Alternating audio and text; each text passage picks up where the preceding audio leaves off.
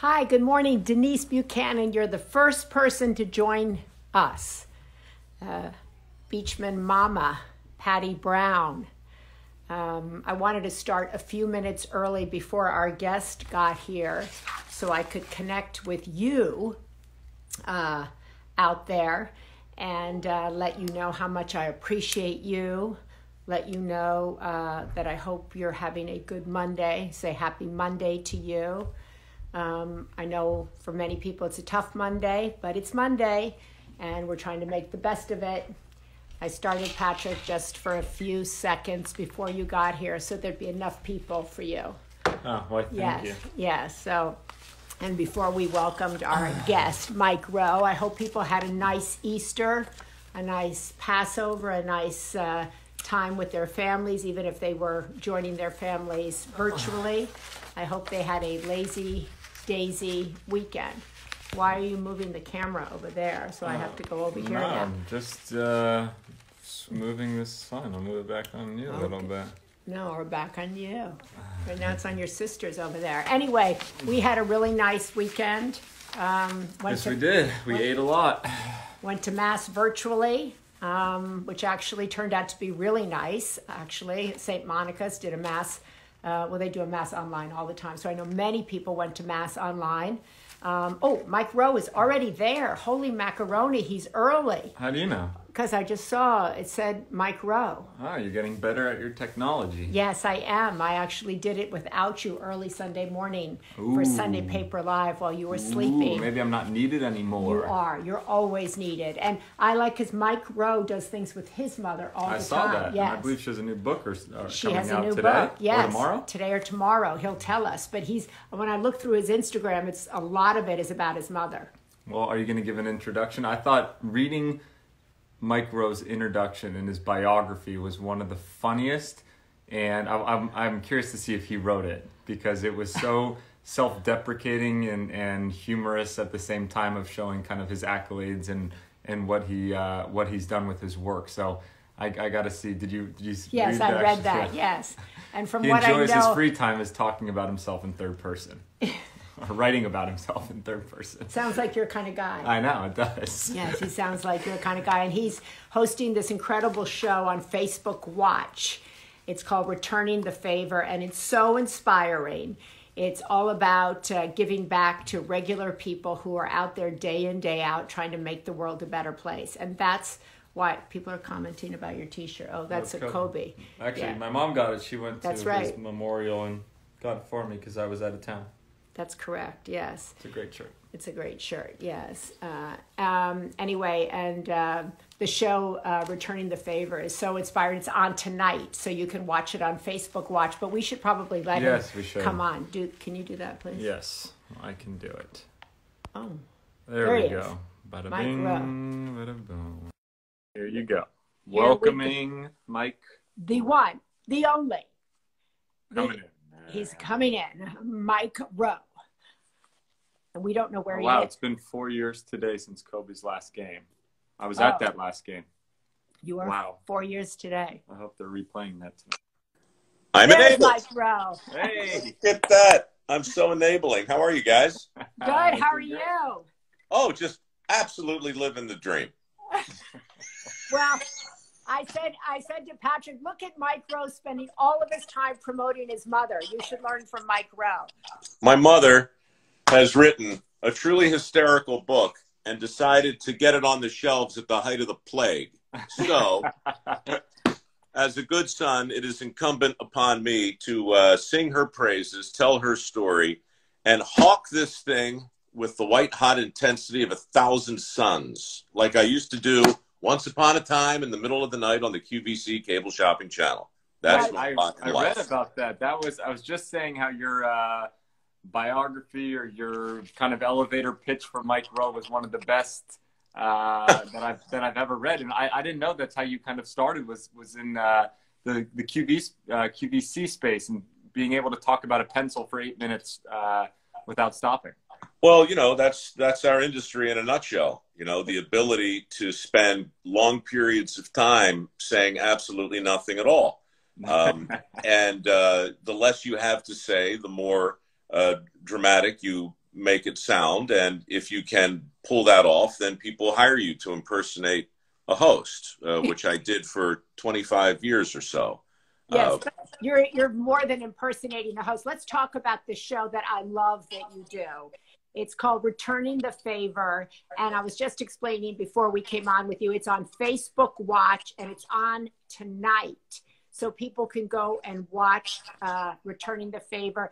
And it's so great because it's inspiring. And you've been doing these specials, Mike, in the time of COVID. Why did you want to do that right now? Because everybody else has stopped production. Well, because the chair I'm sitting in right now is about the only place I can I can get my butt to. So I sit here and we figured out a way to do our show remotely. And the craziest thing is the last three episodes we've done from here have reached over 12 million people. Wow. Um, and the 70 or so we've done over the last three years have reached well over 300 million. So this has turned into a thing. You know, I, I I'm always late to the technology party, but you know Michael Rourke. I think he was a, a page back in the day or something like that at NBC, right? he was a page at NBC, and then he worked uh, for me for about eight years, Wow. and uh, one of my dearest and best friends uh, on the planet. And he is the producer of the show, a great uh, man, uh, great humanitarian. And I'm so proud of him for doing the show. Well, you know what? I am too, and I'm you know I'm uh, I'm more suspicious of earnestness than you might think, but I'm doing this show because so many of my friends in the industry who are really decent people mm-hmm. have wound up working on programs over the years, and I'm not going to mention any names, but various programs that they're not necessarily proud of, right? It's, it's just the way of the world. So, Michael, the producer of this thing, and everybody over at Hudson Media is so pleased to be doing a show that is genuinely warm and real. We just go around the country looking for people who are slightly better than us, and then we surprise them and we give them something that allows them to do more of what they were doing anyway. And we just started throwing these things up on Facebook three years ago, and um, the next thing we knew, it, it was it was bigger than Dirty Jobs, right? It was just like for me, I'm just getting tens of thousands of notes week after week after week after week. The community, the fans of the show, they program the show. So all the ideas come from people who watch it, and we just go out in the world and try and, you know, spread a little sunshine. Well, it's really it's you're returning the favor. I love the title because all of the people that you profile are out there doing this whether you're helping them or not, right? They're out there trying to as I say move humanity forward. They're trying to make their community better, their communities better. And you come in and make their you amplify their work. You amplify and I'd like to let's talk a minute about Cavanaugh Bell, the young boy that you talk about tonight. He's seven years old. He took his entire life savings, which was six hundred dollars, to make these care packages for senior centers. So tell a little bit about what you did for him, Mike. Or- Well, that's the headline, right? This kid is in uh, Gaithersburg, Maryland, Yeah, right. and he went to see his uh, grandma and really wasn't allowed to, and learned that she needed things that she didn't have. So he put together a care package and got it to her. And then he looked around at the nursing home and realized it was full of other people who were who were lonesome and and they and they needed simple things. So this kid, he takes six hundred dollars and he starts by hand putting these packages together, and his mom helps facilitate the delivery of them. Well, somebody in the local news got wind of it and did a quick little piece on it, and then I got wind of it, and because my mom lives not too far from there, I did a Zoom call with my mother. The production company arranged uh, a surprise for the kid, and basically, what we did, we did two things. We we we made him whole. We gave him six hundred dollars back because when you're It's seven years old, right? When when you're seven and everything in your world is six hundred dollars and it's gone. I mean, that's that's you know, the kid's wiped out at seven. So so we we gave him six hundred bucks, and then we gave his mom ten grand earmarked for his education. Wow. So, you know, the the fun thing about a moment like that, I mean, obviously, it's got all the feel good stuff you want, But here we are stuck, isolated, sequestered, separated, quarantined, sheltering in place. Are we, we, how are we going to do this? My mom hops on in front of her computer, talks to this kid's mother. Everybody's crying, money's flying back and forth. Nobody knows what's going on. And, and, and it's a hot mess, Maria. It's a hot mess of well intended uh, altruism. Mm. And people dig it. It's Wow. so inspiring. Yeah, and we can't wait to watch. Uh, it's out tonight. The next one, correct? Yeah, but honestly, in in Facebook world, it's always on whenever you're there. It's you know I don't even know how to talk about premieres anymore. We we do one a week, Right. but then people find it like for the first time, and then they'll go back and they'll watch all seventy uh, or eighty or however talk many about- they are. Can Yeah. you hear us? We're there. yeah, you Yep. can hear us, right?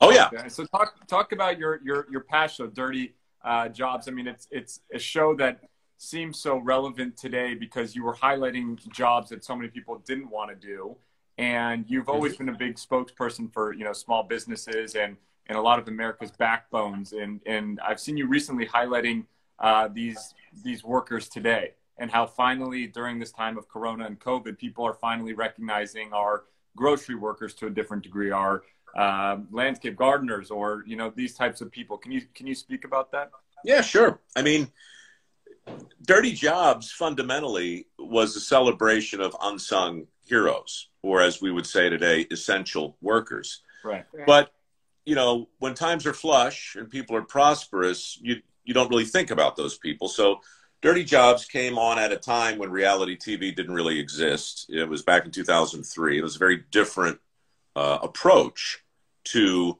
television and production, and it worked. But then in 2008, when the economy crashed, suddenly Dirty Jobs became relevant in ways nobody really anticipated because we're in a recession and and everything's tight. So that made that show weirdly relevant. It just happened again with returning the favor. For the last three years, we've been out returning favors, and you know it was a nice show and people loved it. But all of a sudden now, the whole world, the whole country is is hyper aware that mm-hmm. there that there is no such thing as a non-essential job, right? yeah. I mean, so we talk about healthcare workers and we talk about delivery people, and you can go down the list. But when you talk about the economy, and we've got 17 million people now who have lost their jobs. So Yeah. on the surface, those jobs would appear to be non essential, right? That's why they lost them. But look what's happened to the economy as a result of their absence Mhm. right? So that's that's kind of where we are right now. For me it's full circle. Dirty jobs started with the celebration of essential jobs. Returning the favor is now a realization that all jobs are essential and everybody is out there doing the best they can in their own way. Somewhere in between those two shows to answer your question patrick i started a foundation called mikeroweWORKS. Right, right. and, and the, the focus of mikeroweWORKS is on the skills gap. So pre-corona our country had 7.3 million open positions that required training uh, not a four-year degree. So most of what i do in my spare time on the foundation side is try and make a persuasive case for millions of good jobs that exist that for whatever reason people don't aspire to and then provide a scholarship for people who want to get the training necessary to do those jobs so that's a that's a long way of saying dirty jobs is here returning the favors here mikeroweWORKS is in the middle De- deadliest catch the crab fishing show is over there right. basically i've been doing the same show for 20 years i just changed the title every Yeah. six or seven So speaking further on your foundation, are you just inundated with people kind of wanting to now go down that route? It's a great question. And uh, last I checked, right now in, in the month of April, we are taking applications for our next round of work ethic scholarships. Uh, we have over 10,000 so far, Wow. and we're giving away a million dollars. I do this every year, right around this time. Right. Um, last year, around this time, I think we had 3,000. Okay. Now we have 10. Purple. So people people are starting to get it. They're starting to realize that the best path for the most people might not be a four year degree, Right. might not be the most expensive path, you know. And I think that that I think that's an important realization, and it's a big part of what my foundation tries to uh, debunk. Yeah, Mike, now where do people go if they want to apply for a scholarship, if they want to get help, if they want to add on to that 10,000 number right away, where do they apply? mikeroweworks.org. My name, M I K E R O W E, works.org. Just click on the link. Look, you got to jump through some hoops. These are work ethic scholarships. It's not complicated, Right. but we ask you to do stuff that a lot of scholarship funds don't. You know, I, I'd like to see a video of you making a case for yourself. I'd like to see a short essay. I'd like references, you know, things that employers ask for. I think it's important because the money I raise and give away really comes from Instagram and Facebook. You know, I've got five and a half million people who, for whatever reason, are curious about what I'm doing, and they have been hugely instrumental in in not allowing me to quit. Right? I mean, Yes. every year we do it again. So we're in our we're in our twelfth year now, and um, I'm proud of it. You know, it's uh, Yeah. we're moving the needle, and and and now we have stories of people who actually prospered as a result of learning a trade, and you know that's that's gratifying. So some of the questions uh, that I, I had asked people what they wanted to ask you, and some people uh, said, like here, um, which trade jobs do you think coming out of this Corona period will be most in demand? Well, the the short answer is the same ones that were in demand prior, only more.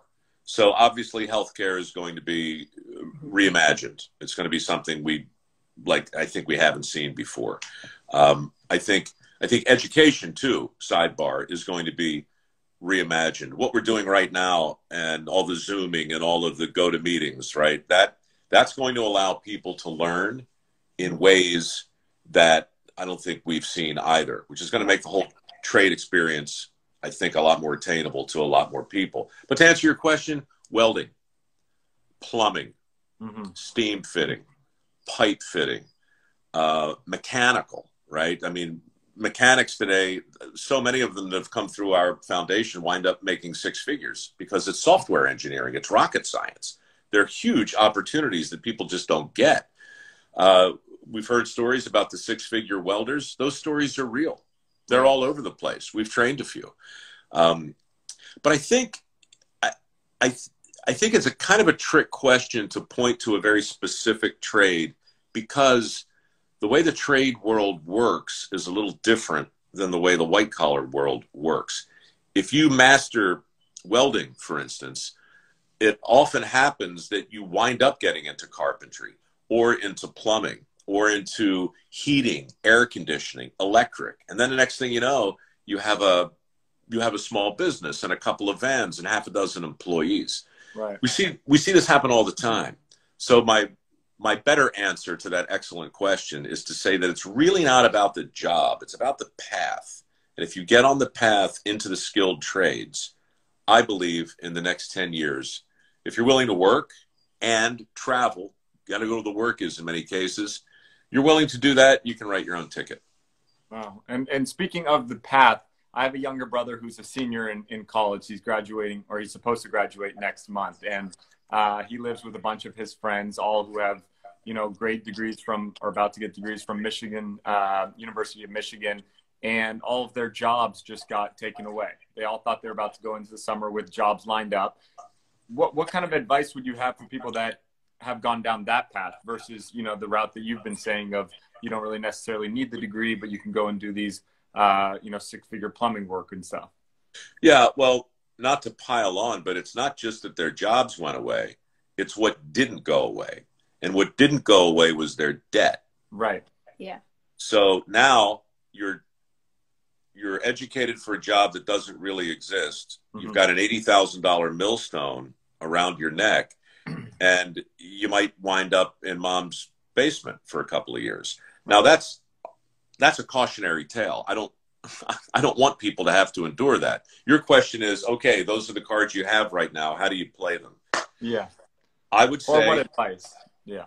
yeah, I mean, look, it, there's there's always a way out, but the way out in this instance depends entirely on your ability and your willingness to hit the reset button. There's still time, as Led Zeppelin said, to change the road you're on. We see it all the time now with people 30s, 40s, and 50s. They just do over. I, I want to do over. Well, look, if you're if you're 22, 23 years old and you've got that kind of debt, uh, they can't take the knowledge away from you that you have.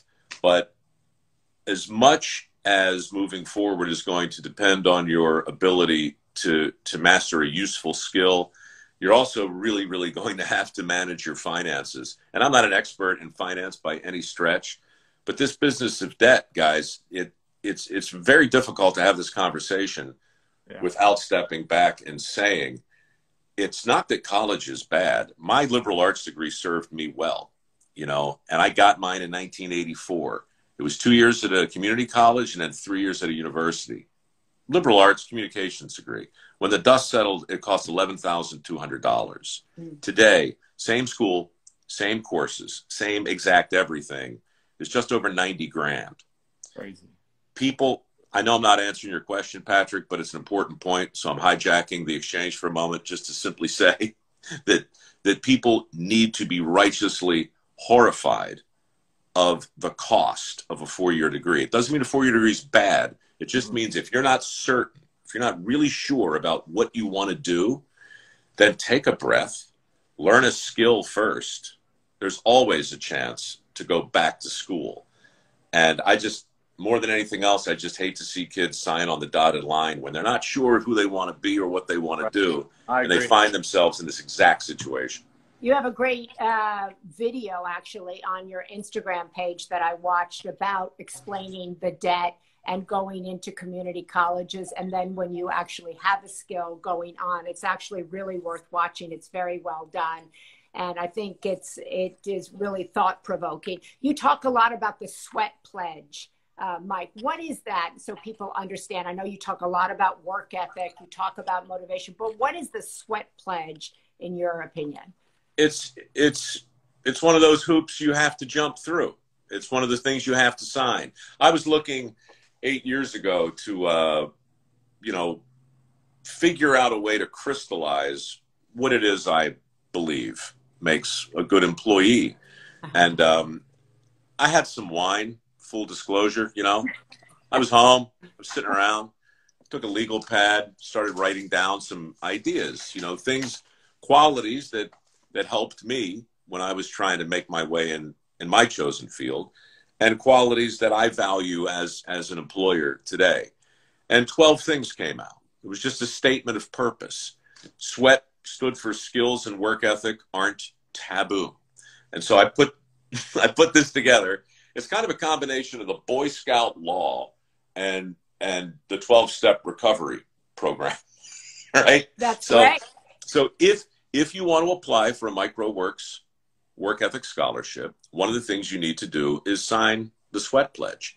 Because look, it's not perfect. I don't, but I, I don't know how to quantify Patrick's work ethic, you know, until I at least have a conversation with him and start to see, you know, what are your thoughts on gratitude? What are your thoughts on delayed gratification? What are your thoughts on on on safety and personal responsibility and you know all of these things that really came out as lessons from dirty jobs years ago wow. now consist of a or or are part of a manifesto of sorts and so it just became a thing sweat pledges now hang in guidance counselors' offices and everybody who applies for a scholarship, and and people buy them. They're only twelve bucks, but the money goes to the foundation, and we've raised hundreds of thousands of dollars.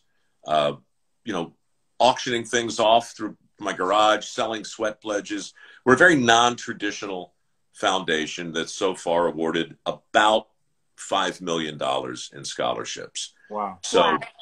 look, I mean, I'm not doing it the easy way but we're doing it the real way, and we and we stay in touch with the people uh, who we help. And now we're in the business primarily of telling their stories because they're a lot more articulate than I am. You know, because they're they're the real. They did it. Yeah. You know, so like when when you, I mean, I wish I could tell you a better story, Patrick, to get back to your other question. But if I had oh, somebody here who got uh, a welding certificate and they were able to explain to you over the next three years how it was they wound up working on heavy equipment up in North Dakota, making $180,000 a year with no debt, then you would have a better answer and a personal story and a, and a face to attach to it. And that's that's when that's when things get persuasive. That's when the needle starts to move. And that's, you know, when you can change lives. That is so awesome. That's incredible. And one final question there, Mike. Somebody said if you were 18 today, what trade would you choose? if I were 18 today, I'd buy Microsoft. um, well, you know, I mean, it's it's a great question, but it's a it's kind of a tricky answer because part of what we um, espouse at mikeroweWORKS is that all jobs are trade jobs. You know, there's the skilled trades, and they represent some traditional blue collar stuff. And my answer to the question is welding because it's a great way in. But my better answer is to say that, you know, you and Patrick and me, you know, we can approach our work as tradespeople.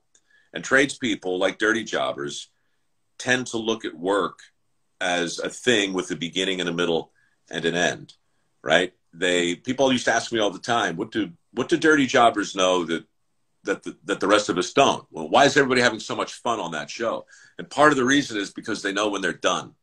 You know, you guys probably have a desk at work. Your desk at work probably looks a lot like it does at five in the afternoon as it does at nine in the morning. Huh. Tradespeople, they you know they know how they're doing. They can see the pipe going in the ditch. They can see the wall going up. They can see the wire being run. You know, constant feedback. You always know how you're doing. And if you think of your work that way, whether you're a, a fake host like me or actual host like you or a terrific writer like my mom, there you go. It, it, it, it, it doesn't matter. If you look at your work like a trade, then for me, uh, you immediately become somebody different. You you leave the place of being an employee, mm. somebody who is in many cases too dependent, and you become more of a, a freelancer. You become you become more skilled. And yeah. truly, when you have a skill, when you've mastered your skill, whatever whatever field you're in, that's when you have autonomy. And if you have autonomy and skill with no college debt, that's when you have freedom. Right. And when you have freedom, you can quit. And there's nothing more fun to do than quit one job and start another one. People are scared of quitting. They shouldn't be. I got fired from every job I ever had, Patrick. 300 dirty jobs. Never got back asked I back. Saw that. I saw you got fired from the graveyard shift. you bet. And deservedly so, I might add. Mike, several people here are saying, you know, great at 18, but what do you do if you're 40 or 50 and you've just lost your job? How yeah. can, you, can you start over at 40 or 50? Can you go in and become a welder? And several people have said to me, make sure you mention it's not tradesmen, it's tradespeople, because there are women obviously sure. becoming welders and other. But right. can you start this uh, line of work at 50? Yes, but I'm not going to paint a, a rosier picture than it is. It's hard, right? I mean, it's it's always hard to restart. You can always do it, but is it harder at 50 than 20? Yeah, I think it is. But look, the more empowering point is is the one you just made. It is tradespeople. Women today, uh, in my view, have no idea the extent of the opportunities that are waiting for them in the construction field. In fact, the most recent uh, video we did on mikeroweWORKS uh, highlights a woman named Victoria Knight. Victoria Knight applied for a mikeroweWORKS scholarship a couple years ago, uh, met another woman in her class, and she basically wanted to redo houses, right? She was full on construction. These two met, started a company. So it's it's it's skills meets entrepreneurs. Now these two women are are rehabbing houses, and we spent the day with them not long ago over in uh, where were we? Fort Wayne, I think. Was it Fort Wayne? Doesn't matter. Uh, we were. was, no, no, South Bend, South, South Bend, Bend, Indiana. That's where it was, Notre Dame.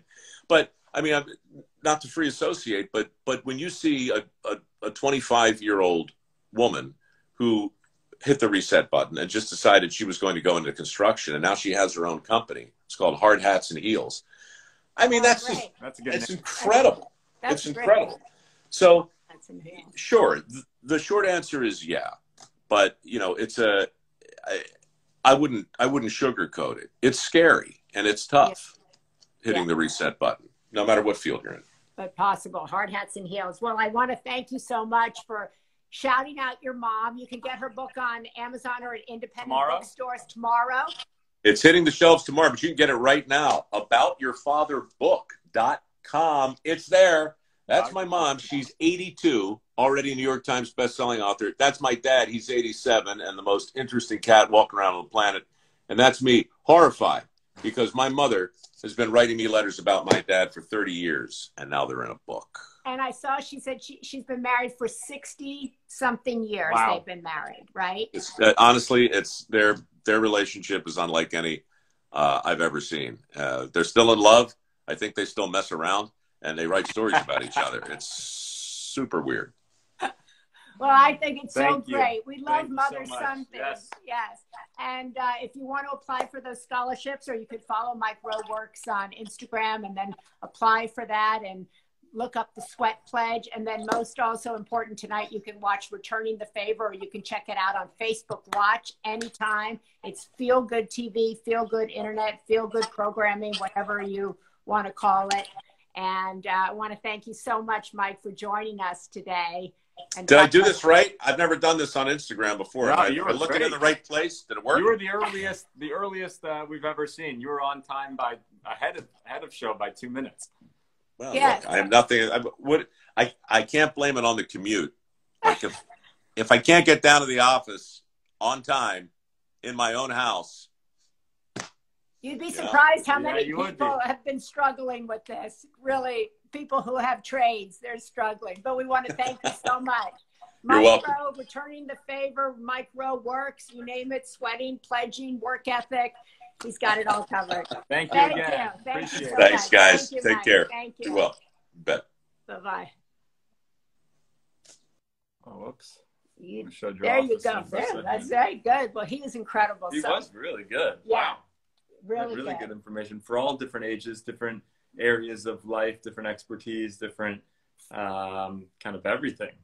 Yeah, I really enjoyed it. you enjoyed him. Yeah, Yeah, I thought he was really smart. I mean, He I, I knew really he's really smart, but yeah. I thought he gave some really good. Although he didn't feel like he pinpointed some sort of form of advice for people that are in their, you know, graduating. I think just the idea that it's, you know, it's never too late to hit the reset button, and you can always, you know, change roads that you're on is uh, is great enough advice. I believe that you know a lot of kids that that do get those four year degrees um, don't feel like they could go and do that kind of craftsmanship or trades work or anything like that because it doesn't yield to what they're what they feel like the education they got but hearing him say that there's you know uh, welders or craftsmen and stuff like that that are making six figures Yeah. um, is kind of a great you know way to show that it's possible and a lot of women uh, are going into these professions and doing really well in construction and welding and trucking and all of those sort of things. But what I think he said is that he's trying to elevate uh, the profile of these jobs, and that's what his foundation is doing, doing so well. And so many people here are saying, you know,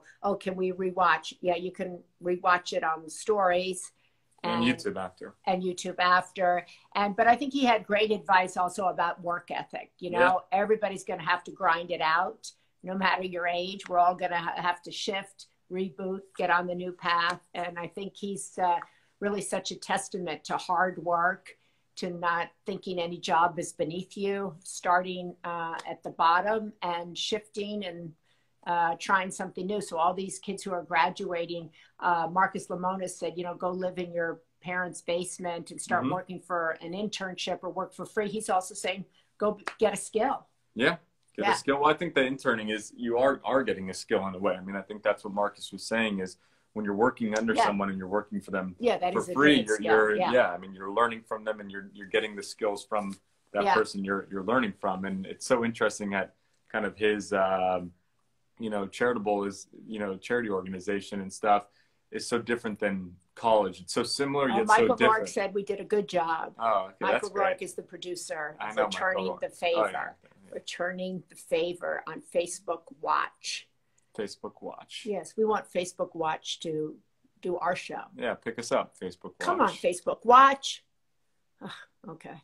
Anyway, we want to thank you. Uh, I want to thank Mike Rowe. Yes. Yes, he was really, he is inspiring. And I really admire the work he's doing, all the scholarships he's uh, handed out, and all the lives he's changed uh, through his foundation, and all the lives they're changing. I'm returning the favor. Yes. I love that. Since so, we didn't introduce ourselves, we'll give Oh. a closing goodbye. I'm are- Patrick Schwarzenegger. and I'm his mother, Maria Shriver. So maybe when you're like Mike Rowe, you'll be promoting me when I'm 80. Of course. Don't forget about me when yes. I'm 80. I never will. Okay. Thank you so much for joining us. And we'll be here all week long, bringing you people we hope that are inspiring, motivating, helping, and that have ideas to help you uh, at any stage in life, because we all need help at every stage of life. So have a good Amen. Monday, Have a great Monday. and we'll see you. Great you. start to the week. Yes. And we'll see you tomorrow and every other day after that. Okay. Bye.